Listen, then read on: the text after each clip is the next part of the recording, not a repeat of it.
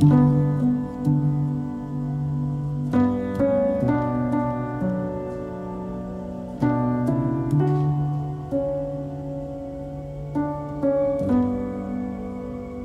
przygoda z poezją zaczynała się w sposób stopniowy i, i trwała od lat młodzieńczych, od fascynacji Stachurą, który tam gdzieś na półce jeszcze stoi. I to było takie pisanie y, podobie Stachury, że tak użyję takiego słownictwa.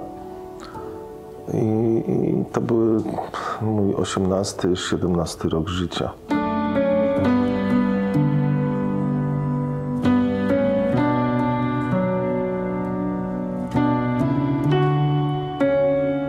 Zwykle czekam na impuls, żeby powstał wiersz.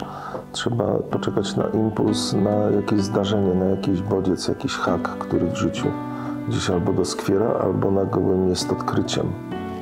Często jadąc samochodem, podziwiając jakiś pejzaż, krajobraz, coś się zaczyna rodzić i jest taka wewnętrzna potrzeba, żeby opisać pewne zdarzenie.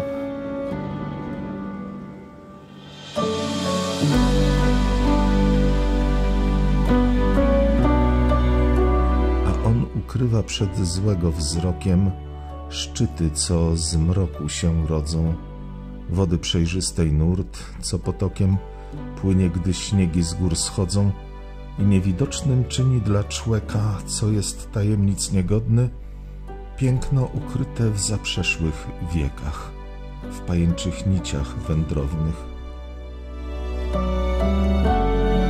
Ze szklarską porębą łączą mnie wspomnienia pierwszych szkolnych wycieczek, później samodzielne przyjazdy do szklarskiej poręby i stamtąd wędrówki górskie. I w tym wieku już dojrzałem, kiedy już osiadłem tutaj w terenie, to przyjaźnie, które się zawiązały z ludźmi, których tam znamy, którzy są mieszkańcami szklarskiej poręby.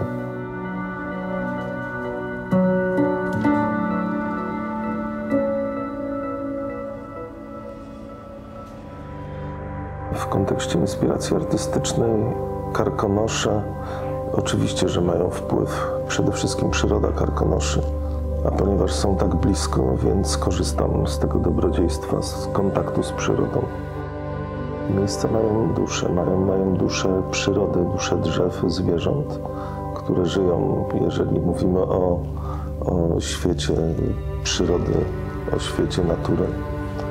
Ale też miejsca takie jak mieszkania, domy, ulice, miasta. Mają duszę swoich mieszkańców. I myślę, że są ludzie, którzy potrafią to dojrzeć i dostrzec, potrafią to poczuć, a potem opisać, zamienić w dzieło sztuki.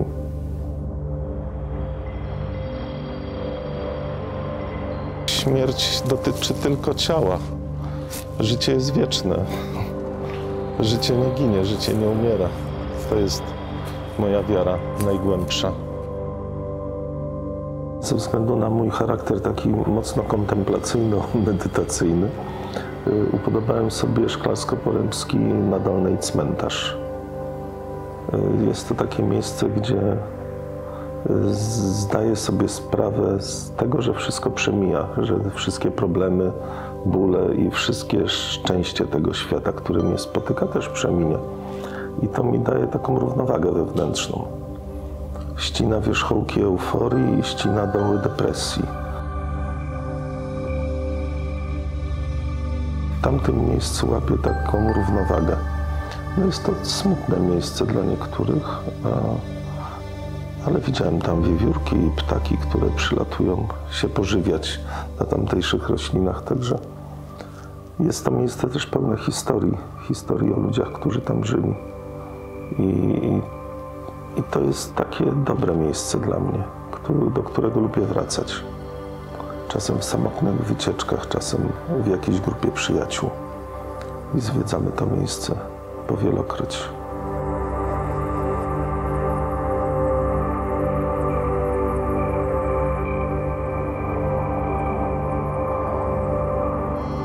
Obcując z naturą, mogę pisać. Często jak mam takie zawahanie i zatrzymuję się nad czymś i nie mogę ruszyć, to wtedy idę na spacer. Godzina, dwie godziny spaceru. Krążenie gdzieś po, po, po leśnych bezdrożach i wtedy z łatwością kończę to, co stanęło w miejscu. Przyroda i malarstwo są dla mnie natchnieniem, takim największym bodźcem do tworzenia. W obrazach też jest część życia artysty, który tworząc obraz musiał zachwycić się jakimś widokiem. Tam są jego emocje zawarte, cały jego charakter, jakby umiejętność życia. Obraz to jest życie tego człowieka, to co on kochał, to przedstawiał na obrazach i sposób w jaki to przedstawiał mówi o nim. Także jest to takie łączność z człowiekiem, który już nie żyje często.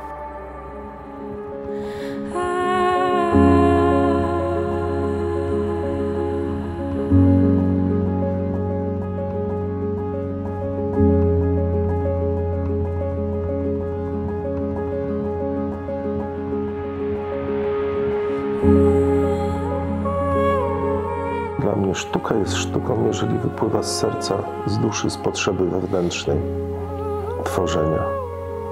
Bo inaczej to może być dobre rzemiosło tylko, ale jeśli nie ma w tym tej miłości do przedmiotu przedstawianego, no to ta sztuka dla mnie osobiście jest mało warta. A wydeptanych unika szlaków, więc mówią, że on zmyślony. A przecież płaszcz ma uszyty z maków, a brodę z traw ma zielonych, a jego kostur do nieba sięga, buty ma z młyńskich kamieni, a przygód jego niejedna księga. Tych gór on panem się mieni. Pisałem kiedyś takie opowiadanie o duchu gór, o jego powstaniu, zanim jeszcze zapoznałem się z duchem gór y, Karla Hauptmana. I było to bardzo zbieżne, więc myślę, że trafiliśmy w gruncie rzeczy w to prawdziwe, w prawdziwy moment jego powstania i stworzenia. Dla mnie duch gór jest chmurą, taką ciężką, dużo, burzową chmurą, która przechodzi ponad górami. Gdybym miał go sobie tak wyobrazić w sposób natychmiastowy i szybki. Czyli nie jest jakąś istotą z brodą, jakimś ani starcem, ani młodzieńcem, ani kimś, kto na drodze zaczepia podróżnych. Jest w zasadzie takim bytem nieokreślonym, bliżej duchowi niż, niż postaci takiej fizycznej. Często przebiera się też w moich opowiadaniach w jakąś postać dziwnego człowieka, wędrowca, ale to najbliższe to jest ta burzowa chmura która wisi nad, chmur, nad górami.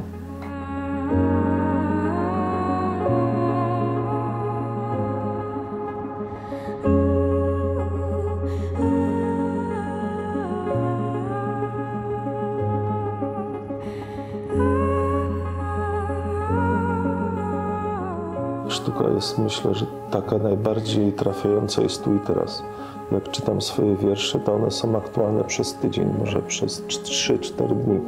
Taka jest też y, taka jest funkcja Facebooka, że on pokazuje tylko te rzeczy aktualne i tam pozostawiam dużo swoich śladów, ale te ślady znikają. One nie są aktualne.